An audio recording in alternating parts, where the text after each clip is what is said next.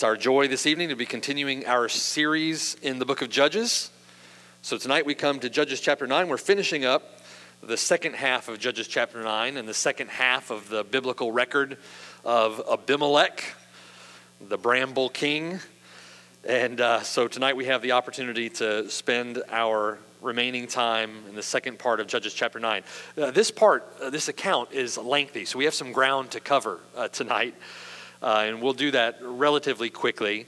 Uh, but I want to read this section of text. I think it's important that we go to the text and read this section, and then we'll work through um, those themes and those points that I believe the Lord would have us consider this evening as we think about Abimelech and his reign in Shechem. So, Judges chapter 9, beginning in verse 22. Hear the word of the Lord. Now, after Abimelech had reigned over Israel three years, God sent a spirit of ill will between Abimelech and the men of Shechem, and the men of Shechem dealt treacherously with Abimelech, that the crime done to the 70 sons of Jerubbaal might be settled, and their blood be laid on Abimelech, their brother, who killed them, and on the men of Shechem, who aided him in the killing of his brothers. And the men of Shechem set men in ambush against him on the tops of the mountains, and they robbed all who passed by them along that way, and it was told Abimelech. Now, Gaal, the son of Ebed, came with his brothers and went over to Shechem, and the men of Shechem put their confidence in him. So they went out into the fields and gathered grapes from their vineyards and trod them and made merry. And they went into the house of their God and ate and drank and cursed Abimelech. And then Gaal, the son of Ebed, said, Who is Abimelech and who is Shechem that we should serve him? Is he not the son of Jerubbaal, and is this not Zebul, his officer? Serve the men of Hamor, the father of Shechem, but why should we serve him? If only this people were under my authority, then I would remove Abimelech. So he said to Abimelech, Increase your army and come out. When Zebul, the ruler of the city, heard the words of Gaal, the son of Ebed, his anger was aroused. And he sent messengers to Abimelech secretly, saying, Take note, Gaal, the son of Ebed, and his brothers have come to Shechem and here they are fortifying the city against you. Now, therefore, go, get up by night, you and the people who are with you, and lie in wait in the field. And it shall be, as soon as the sun is up in the morning, that you shall rise early and rush upon the city. And when he and the people who are with him come out against you, you may then do to them as you find opportunity. So Abimelech and all the people who are with him rose by night and lay in wait against Shechem in four companies. When Gaal the son of Ebed went out and stood in the entrance to the city gate, Abimelech and the people who were with him rose from lying in wait. And when Gaal saw the people, he said to Zebul, Look, people are coming down from the tops of the mountains. But Zebul said to him, You see the shadows of the mountains as if they were men. So Gaal spoke again and said, See, people are coming down from the center of the land, and another company is coming from the diviner's terebinth tree. And then Zebul said to him, where indeed is your mouth now with which you said, Who is Abimelech, that we should serve him? Are not these the people whom you despised? Go out, if you will, and fight with them now. So Gaal went out, leading the men of Shechem, and fought with Abimelech. And Abimelech chased him, and he fled from him, and many fell wounded to the very entrance of the gate. Then Abimelech dwelt at Arumah, and Zebul drove out Gaal and his brothers so they would not dwell in Shechem. And it came about on the next day that the people went out into the field, and they told Abimelech. So he took his people, divided them into three companies, and lay in wait in the field. And he looked, and there were people coming out of the city. And he rose against them and attacked them. And then Abimelech and the company that was with him rushed forward and stood at the entrance of the gate of the city and the other two companies rushed upon all who were in the fields and killed them. And so Abimelech fought against the city all that day. He took the city and killed the people who were in it, and he demolished the city and sowed it with salt. Now, when all the men of the tower of Shechem had heard that, they entered the stronghold of the temple of the god Berith, and it was told Abimelech that all the men of the tower of Shechem were gathered together. Then Abimelech went up to Mount, Mount Zalmon, and he and all the people who were with him. And Abimelech took an axe in his hand and cut down a bough from the trees and took it and laid it on his shoulder. Then he said to the people who were with him, What you have seen me do, make haste and do as I have done. So each of the people likewise cut down his own bough and followed Abimelech, and he put them against the stronghold, and he set the stronghold on fire above them, so that all the people of the tower of Shechem died, about a thousand men and women. Then Abimelech went to Thebez, and he encamped against Thebez and took it. But there was a strong tower in the city, and all the men and women, all the people of the city, fled there and shut themselves in. Then they went up to the top of the tower. So Abimelech came as far as the tower and fought against it. And he drew near the door of the tower to burn it with fire. But a certain woman dropped an upper millstone on Abimelech's head and crushed his skull. Then he called quickly to the young man, his armor bearer, and said to him, Draw your sword and kill me, lest men say of me, A woman killed him. So his young man thrust him through, and he died. And when the men of Israel saw that Abimelech was dead, they departed, every man to his place. Thus God repaid the wickedness of Abimelech, which he had done to his father, by killing his seventy brothers. And all the evil of the men of Shechem God returned on their own heads, and on to them came the curse of Jotham, the son of Jerubbaal. This is the word of God. Uh, let's pray now as we consider this text together. Father in heaven, thank you for our time tonight. Thank you for this um, opportunity to have an evening service. Uh, thank you for your word. Thank you for these dear people who've come. I pray, Lord, that you would visit with us now. Draw near to us, Lord, by your Spirit and help us as we consider the lessons that you've given us in this text. We know, Lord, from your word that these things were written for our admonition. Help us, Lord, now to heed your word. We love you. Thank you for this time. In Jesus' name, amen. Well, the title of our sermon this evening is The Fruits of Faith, Faithlessness. The Fruits of Faithlessness. Uh, this is part two. We began last week uh, with part one, the beginning of Judges chapter 9. But now we come to the downfall of Abimelech in Judges chapter 9, verses 22 through 57. So, Abimelech, the son of Gideon, by his Shechemite concubine, has determined that he himself wants to be king. Abimelech is full of bloodlust, full of ambition. Gideon has died. The restraining influence that the Lord has exercised through the hand of Gideon is now gone with the death of Gideon. The people, now free as it were to behave as they like, to conduct themselves as is right in their own eyes, they now take a nosedive into idolatry and they again play the harlot with the Baals, all led by the bramble king Abimelech. In chapter 8, verse 34, the chapter ends with these words Thus the children of Israel did not remember the Lord their God, who had delivered them from the hands of all their enemies on every side. The Lord had just given them a miraculous victory against Midian. Absolutely stunning at the hands of Gideon. And yet, this is how they repay his grace and mercy and kindness and benevolence and deliverance. They forget the Lord their God who delivered them from the hands of all their enemies on every side. That's under these conditions that the people in Israel begin to eat the fruit of their own fancy. We're familiar with that proverb. They become filled to the full with their own ways. They uh, stuff it up their nostrils, so to speak, until they are absolutely sick of it. And the corrupt son of Gideon, Abimelech, now is brought to power in Shechem. Abimelech will eat the fruit of his own way. Abimelech will be filled to the full with his own fancies. Shechem will eat the fruit of their own ways and be filled to the full with their own fancies. Abimelech and the men of Shechem abandon truth and sincerity in order to run a kingdom of their own.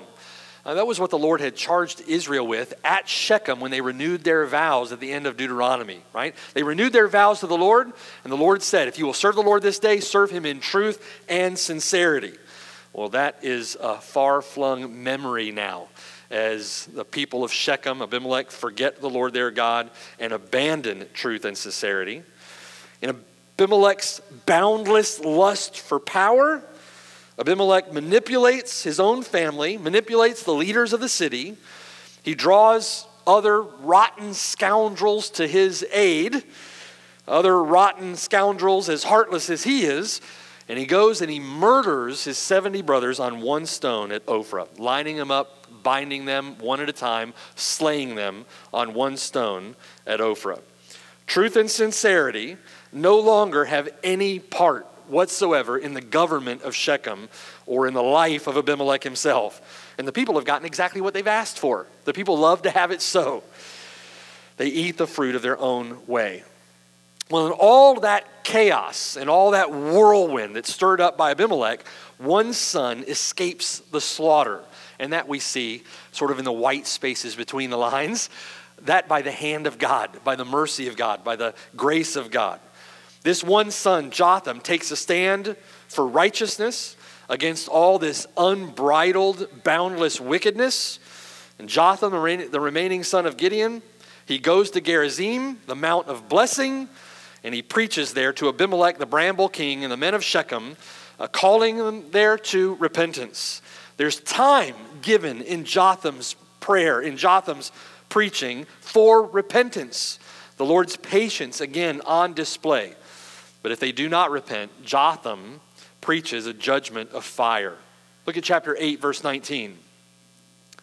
If then you have acted in truth and sincerity with Jerubbaal and with his house this day, then rejoice in Abimelech. Let him also rejoice in you. But if not, let fire come from Abimelech and devour the men of Shechem and Beth Millo, and let fire come from the men of Shechem and from Beth Millo and devour Abimelech. In other words, the evil that they have hatched will come down upon their own heads.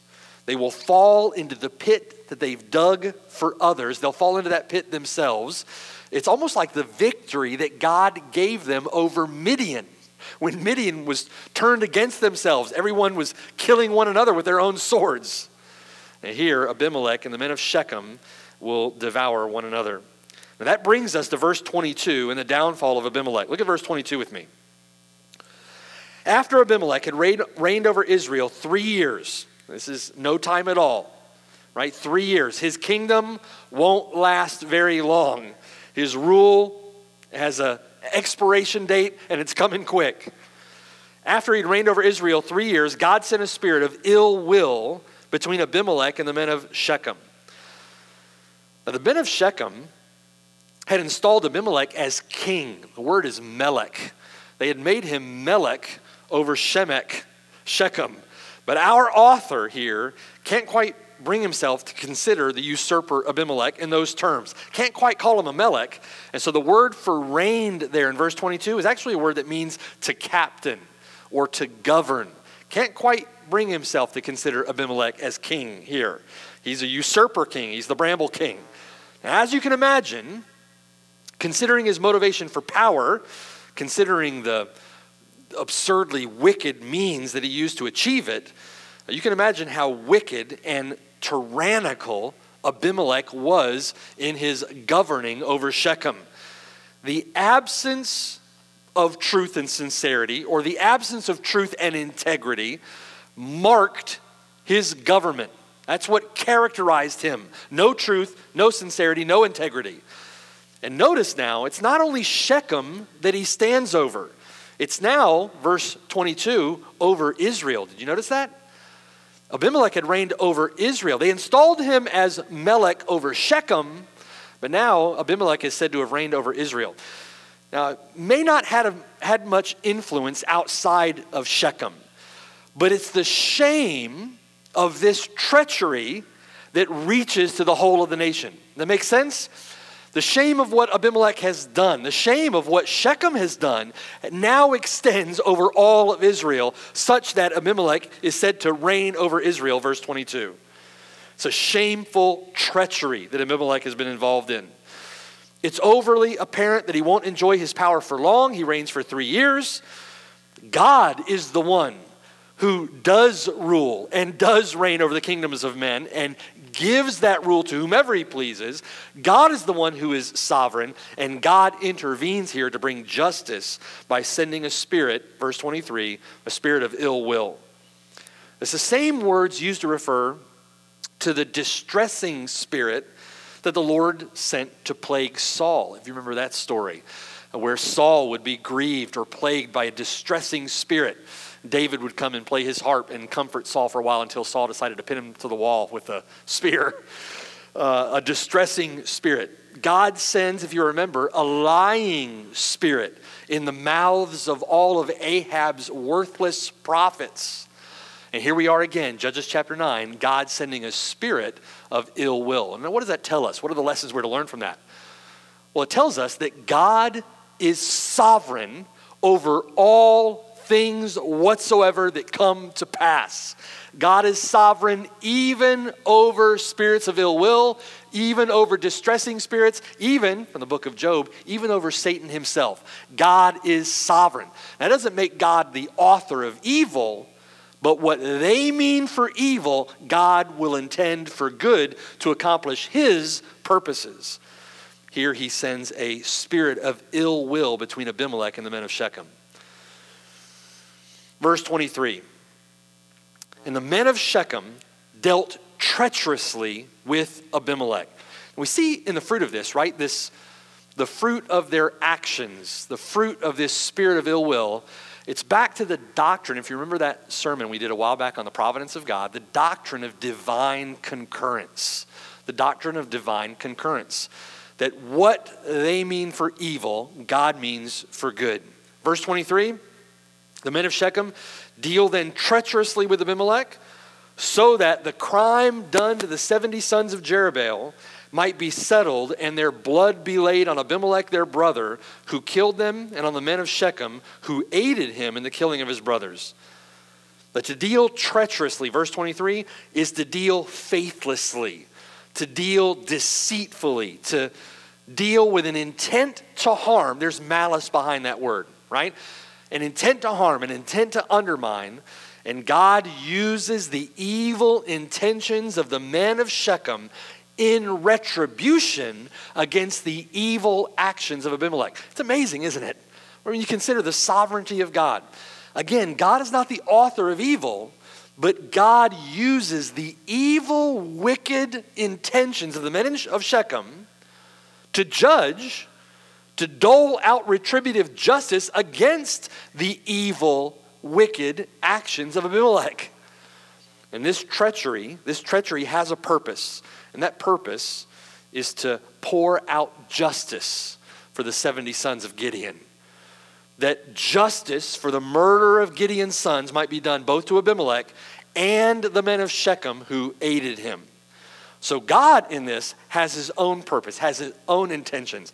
Justice is going to roll, and it's going to roll against both Abimelech and the men of Shechem. Just as Jotham had pronounced on Mount Gerizim, the wicked in this account, both Abimelech and the men of Shechem, are going to turn on one another. It's just like the camp of the Midianites when Gideon and the 300 went into the battle in the valley of Jezreel. They turned their swords on each other, and the Lord routed most of the army in that battle with that very event.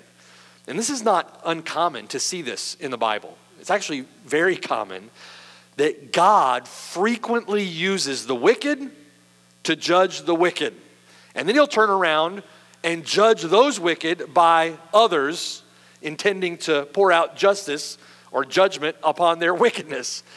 Very common, um, many times, where Israel is judged by a foreign nation. In this case, judged by Midian and then God will turn around and use Israel to judge that wicked nation for all that they had done against the apple of his eye, right? It happens all the time in the Bible. God judges the wicked. In all of that, God is entirely just. And in all of that, all of the liability for that, all of the culpability, all of the guilt lands squarely on the shoulders of those people who determined to do that wickedness, even though that wickedness served the purposes of God. Does that make sense? It falls upon their head, and they are solely responsible. No one can say when he's tempted that I've been tempted by God. God is neither tempted nor does he tempt anyone else to sin, James says, right? God is just when he judges the wicked for their wicked actions. So then we come to verse 25 and we see how this plays out. The men of Shechem then in order to undermine Abimelech, set men in ambush against him on the tops of the mountains. And they robbed all who passed by them along that way, and it was told Abimelech. We see in verse 25 how quickly the tables turn. right? How quickly the tables turn. Abimelech and the men of Shechem were cohorts together, and now we see the men of Shechem turning against Abimelech. That's the problem when you make unscrupulous deals with unscrupulous people. When you make unscrupulous deals with unscrupulous people, they will eventually turn their unscrupulous ways upon you. If you lie and cheat and steal and you enter into covenant with those that lie and cheat and steal, eventually they'll turn their lying, cheating, stealing ways against you. That's the way this world works. We need to figure that out, make sure we understand it. The men of Shechem had had it with the tyrannical leadership of, of Abimelech, and so they hatch a plan here to undermine him. They're going to undermine him through highway robbery. Abimelech, the king, is charged with protecting the people of Shechem and so, what the men of Shechem now are going to do is start attacking the people of Shechem, coming and going from the city, robbing them on the highway. And if Abimelech can't protect the people, then what good is he as king, right? It's going to undermine Abimelech's power. He couldn't even protect his own subjects along the roads coming into the city. How could he protect Shechem or how could he work as king? In other words, they're going to give Abimelech a good old fashioned political black eye in doing this. The optics aren't good here for Abimelech. And in this, the men of Shechem begin to court the idea of another king, someone to replace Abimelech. As they're thinking about that, enter, verse 26, Gaal, the son of Ebed. Gaal, the son of Ebed, came with his brothers, went over to Shechem, and the men of Shechem put their confidence in him. Now, this guy seems to come out of nowhere. It may have been that the people of Shechem knew him well. It might have been that he had lived there before, had left for a period of time. Now he's coming back. He claims to be a true Shechemite, a descendant of Hamor, the father to Shechem, the founder of the city. Not sure why he left or where he's coming from, but the men of Shechem see Gaal as the answer to their pagan prayers. And they throw a big party, celebrate his return, and the end, and the end, this certainly signaled for Abimelech. Verse 27. So when he returns, they went out into the fields, they gathered grapes from their vineyards and trod them, and they made merry. They went into the house of their God, ate and drank, and cursed Abimelech. Then Gaal, the son of Ebed, said, Who is Abimelech? And who is Shechem that we should serve him? Is he not the son of Jerubbaal, and is not Zebul his officer?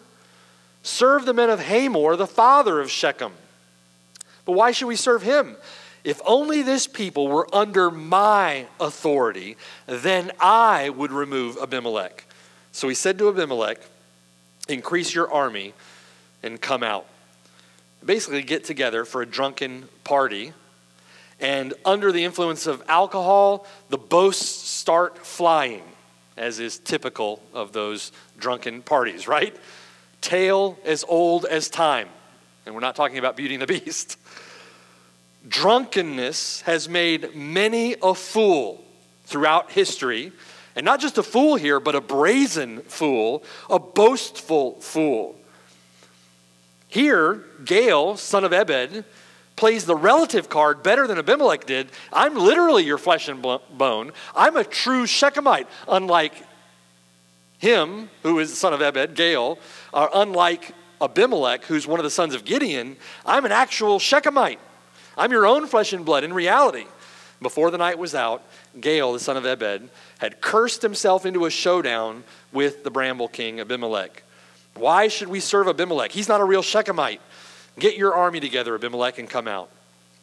Now, in verse 30, when Zebul, the ruler of the city, when he heard these words of Gaal, the son of Ebed, his anger was aroused. And that's the way of this wicked world, isn't it?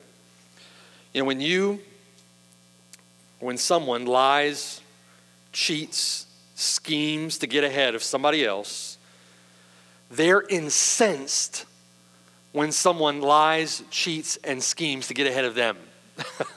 Isn't that the way it always works? Uh, talk about hypocritical, right? You talk trash about somebody behind their back, and then you're angry when somebody talks trash about you behind your back. These are the bitter fruits of faithlessness. And this is like um, a wicked cancer that spreads. When that begins, it just continues to spread, continues to spread. It's like a gangrene. Eventually, the limb has got to be cut off to save the body, right? Becomes such a bitter fruit. And in that, always for God's people, if you find yourself swept up in the whirlwind of that kind of wickedness on the job, or that kind of wickedness in the classroom, or that kind of wickedness in your family, or that kind of wickedness anywhere in the world, truth and sincerity, truth and integrity have to begin with you. Has to begin with you. There has to be a stop made, a full stop. There has to be a stand taken for righteousness. No matter how difficult, it has to be done. That has to begin with you. You're the one who must take a stand for righteousness and do what is necessary. Uh, this world won't do it. I've often said, considering our politics, that a genuine Christian could set an egg timer on the length of any political career he aspired to. because within a matter of moments, what is going to come out of that genuine Christian's mouth is going to light a forest fire for all those who are asking questions, all those who are hearing him, uh, and his political career is over. Truth and sincerity, a stand for righteousness, must begin with you, and it must begin with you uh, despite the cost. If you find yourself swept up in the wickedness of this world, you must take a stand for righteousness. Well, Zebul is mad here. His officer, Abimelech's officer, is angry. And so he's gone to Abimelech secretly. Verse 31 He sent messengers to Abimelech secretly, saying, Take note, Abimelech, Gaal the son of Ebed and his brothers have come to Shechem and here they are fortifying the city against you. So one power hungry faction takes control through deceit, ungodly gain, and now another power hungry faction plots to do the very same thing. All of it is illegitimate, by the way. This isn't God installed government, these are warring rival gangs of thugs. Do you see? This is not a legitimate government. Uh, this, these are warring thugs. Verse 32. Now, therefore, Zebul says, Get up by night, you and the people who are with you, lie in wait in the field. And it shall be, as soon as the sun is up in the morning, that you shall rise early, rush upon the city. And when he and the people who are with him come out against you, you may then do to them as you find opportunity. So, Abimelech carries out the plan. Sounds good to him. Verse 34 Abimelech and all the people who are with him, they rose by night lay in wait against Shechem in four companies. When Gaal the son of Ebed went out and stood at the entrance to the city gate, Abimelech and the people who were with him rose from lying in wait. Verse 36 And when Gaal saw the people, he said to Zebul, who was obviously standing there with him, Look, people are coming down from the mountains. Now you can imagine, it's early in the morning, sun is just coming up, Gaal still has sleepy in his eyes. he's rubbing his eyes. He's trying to get that first cup of coffee going. He's got a McMuffin in his hand. And he looks into the sun, so to speak, and he can't quite see through the mists still in his eyes. He's not fully awake yet. And it's like, people are coming down from the tops of the mountains. Zebul said to him, Ah, you're seeing stuff right? Zebul said to him, You see the shadows of the mountains as if they were men. So, verse 37 Gaal spoke again and said, See, people are coming down from the center of the land. Gaal's picking it up, he's figuring it out. Another company is coming from the diviner's terebinth tree. Then Zebul said to him, This is talionic justice, isn't it? Where indeed is your mouth now, Gaal, with which you said, Who is Abimelech that we should serve him? Are not these the people whom you despised? Go out, if you will, and fight with them now. So Gaal went out, verse 39, leading the men of Shechem, and fought with Abimelech. Abimelech chased him, and he fled from him, and many fell wounded to the very entrance of the gate. Then Abimelech dwelt at Arumah, and Zebul drove out Gaal and his brothers so that they would not dwell in Shechem. Now, someone, upon reading this, might reply, Well, where is the justice in all this? Abimelech gets away with it again? The wicked prosper again. When is Abimelech going to get his? And are reminded of Psalm 73 uh, with respect to that. Uh, we can often think that the wicked prosper. And the psalmist, this is Psalm of Asaph, Psalm 73, the psalmist says this He says, I was envious of the boastful when I saw the prosperity of the wicked. The psalmist actually said that he was um, in danger, that he was tempted to fall, tempted to stumble because of his envy of the wicked and their prosperity. I was envious of the boastful when I saw the prosperity of the wicked. For there are no pangs in their death, their strength is firm. They're not in trouble as other men, nor are they plagued like other men. Their pride serves as their necklace. Violence covers them like a garment. Their eyes bulge with abundance. They have more than a heart could wish for. They scoff and speak wickedly concerning oppression. They speak loftily. They set their mouth against the heavens, and their tongue walks through the earth. You see what the psalmist is saying, right? Where is the justice in all of this? Why is it that wicked men continue to prosper? We look around our world and it seems to be so. Every time you turn on the TV, you see wicked people prospering. They're wicked wealthy everywhere. It seems like everywhere you turn. And the professing Christian might think to himself, all the good that could be done with that money if I were the steward of all that, or all the good that could be done if that wicked person would turn from their sin and put their trust and faith in Christ this is the way of the wicked. And we sometimes think to ourselves, where is the justice in this life? The psalmist is tempted to despair considering the prosperity of the wicked. These are these ungodly people who always seem to be at ease. They always increase in their riches. And the psalmist says to himself, Surely I've cleansed my own heart in vain. I'm plagued all day long. I'm chastened every morning. You see the temptation, right? The Christian life is difficult. It's hard. They seem to have it so easy. You know what I'm going to do? I'm just going to abandon the whole thing. It's not worth it. I'm going to throw in the towel, go back to my own life. I'm going to eat, drink, and be merry, for tomorrow I die. I don't believe any of this nonsense anymore. You see the temptation? That may say, seem crazy to you. You may think to yourself, I would never, never do that. There have been people at this church who have done that, who are not with us any longer, who are living out in the world right now in their sin, apostate from the faith. Take heed. He who thinks he stands, take heed lest he fall. Surely, the psalmist says, I've cleansed my own heart in vain. Why would I put up with all this difficulty? I'm plagued all day long. I'm chastened every morning. But then he says, It became clear when I went to the sanctuary of God. What happens at the sanctuary of God? The word of God is preached. then he says, I understood their end. Surely, Lord, you have set them in slippery places. Oh, how they are brought to desolation in a moment. They're consumed, they're destroyed in a moment. Amos says, let justice run down like water and righteousness like a mighty stream.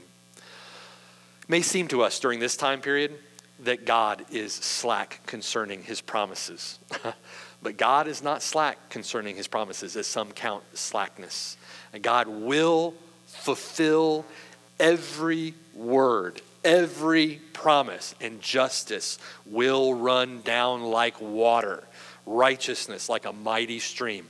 God, the righteous one, will be vindicated, the wicked will be cast down. It's just a matter of time.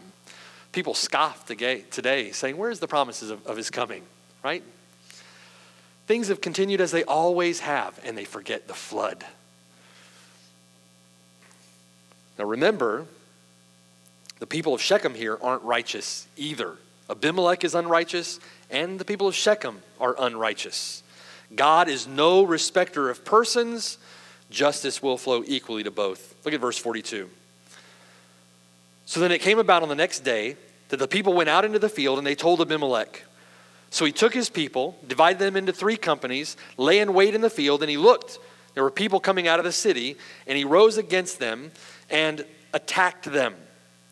Now, these are people who are just coming out of the city to go back to work. The little insurrection, the little rebellion, the little revolt that got started was immediately put down. And so, what do the people of Shechem do the next day? They go back to work. They go back out into the field. The rebellion is over. Let's get back to the farm, farming. Verse 44 Then Abimelech and the company that was with him rushed forward. They stood at the entrance of the gate of the city. The other two companies rushed upon all who were in the fields, and they killed them. So Abimelech fought against the city all that day. He took the city, killed the people who were in it, and he demolished the city and sowed it with salt. So Abimelech puts down the rival gang on one day. The people of Shechem, supportive of that rival gang, go out to work on the next day like nothing ever happened. And Abimelech is enraged. There's no sense of justice with Abimelech. You notice that? It's just pride. He's acting like a tyrant. His pride is hurt. So he sets out once again in vengeance and against the people that he presumes to rule. They're not fighting against him, they're going to work in the field. And what's important to Abimelech is the power. It's not the people, the people he could care less about. It's the show of force, it's his pride. So he decides to literally obliterate everything and everyone. He kills the people, men, women, and children. He destroys the buildings and he sows the land with salt. In other words, he destroys their livelihood. What are you going to grow in a field full of salt? Couldn't grow crops, right? This was also, this action on the part of Abimelech is interesting because it's also the curse of desolation from Deuteronomy chapter 29. Deuteronomy 29, the Lord curses the land with salt, brimstone, salt, and fire. It's the curse of desolation. And it was the sign of the Lord's burning wrath against the children, against the nation of Israel for their wickedness when the people broke their covenant with God Almighty. Here, Abimelech uses the same sign. It's interesting, isn't it? That the sign of Abimelech's wrath is this curse of desolation, sowing the city with salt. And Abimelech is a complete hypocrite. He's broken the Lord's covenant, and here he is sowing the land with salt for them having broken their covenant, so to speak, with him. The bounds of Abimelech's lusts have not yet been fully revealed, though. Look at verse 46. When all the men of the Tower of Shechem had heard that, they entered the stronghold of the temple of the god Berith, and it was told Abimelech that all the men of the Tower of Shechem were gathered together. Then Abimelech went up to Mount Zalmon, he and all the people who were with him. And Abimelech took an axe in his hand and cut down a bough from the trees, and he took it and laid it on his shoulder. Then he said to the people who were with him, What you've seen me do, make haste and do as I have done.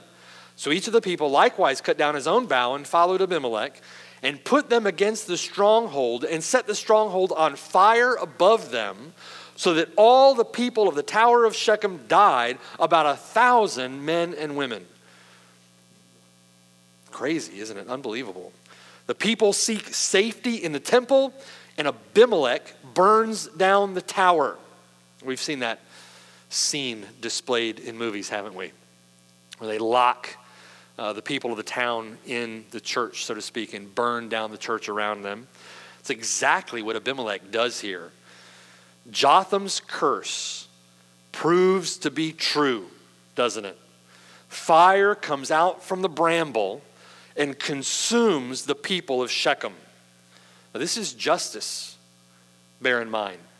This is God's retributive justice poured out on the, on the Shechemites for aiding Abimelech in the murdering of the 70 sons of Gideon. Justice rains down on the Shechemites for their part in the death of Gideon's sons, for supporting the usurper Abimelech. So, what does Abimelech do then? doesn't go home. Uh, bloodlust is never satisfied, ambition is never satisfied. I guess Abimelech thinks he's going to take the entire ancient Near East. So Abimelech in verse 50 goes to Thebez and he encamped against Thebez now and he took it. Not sure why Abimelech turns his anger on this city. We're not told here. But Abimelech nonetheless attacks. And, verse 51, there was a strong tower in the city, and all the men and women all the people of the city fled there, shut themselves in, and they went up to the top of the tower. Second verse, same as the first, right? It's uh, the same reaction. Abimelech is thinking, we'll just do the same thing again. Verse 52 So Abimelech came as far as the tower, fought against it, and he drew near the door of the tower to burn it with fire. But a certain woman dropped an upper millstone on Abimelech's head and crushed his skull. Then he called out quickly to the young man, his armor bearer, and said to him, Draw your sword and kill me, lest men say of me, A woman killed him. So his young man thrust him through, and he died. When the men of Israel saw that Abimelech was dead, they departed every man to his place. So Abimelech experiences in this life the justice and retributive the retributive justice, the judgment of God. He experiences the bitter fruit of faithlessness even now in this life, and he is experiencing the bitter fruit of faithlessness now in eternity. This was a strong woman in uh, verse 53. Uh, upper millstone, if you remember what a millstone is, it's a stone, one smaller stone that sits upon a larger stone, and it was used to grind wheat into flour. And that upper millstone was heavy. This woman lifts up that upper millstone, drops it on Abimelech's head. Dale Ralph Davis said that she had a crush on him. so, hmm. interesting the theme that here it is a woman, a woman who crushes the head of the serpent. We remember that theme established for us in Genesis chapter 3. We see that theme continuing through the Bible. Here's the woman that crushes the head of the serpent. That's just a foreshadowing of the seed of the woman who would come and finally and fully crush the head of the serpent. God knows how to deliver his people. Amen. He delivers his people here from the hand of a tyrant. And to Abimelech, it can't be said that I was killed by a woman. Run me through. And here it is written on the pages of God's eternal word, forever written, that Abimelech was killed by a woman who dropped a millstone on his head. Verse 56 Thus God repaid the wickedness of Abimelech, which he had done to his father, by killing his 70 brothers. And all the evil of the men of Shechem, God returned on their own heads, and on them came the curse of Jotham, the son of Jerubbaal. It's amazing, right? The wisdom of God the fact that none of God's plans can be thwarted. No one will turn his hand or say to him, What are you doing? Right? No one will turn God's hand. Divine retribution will be satisfied. There's a sense in which divine retribution can fall in this life, but there is an ultimate divine retribution that will be satisfied in the life to come if you do not turn from your sin and put your faith and trust in Christ.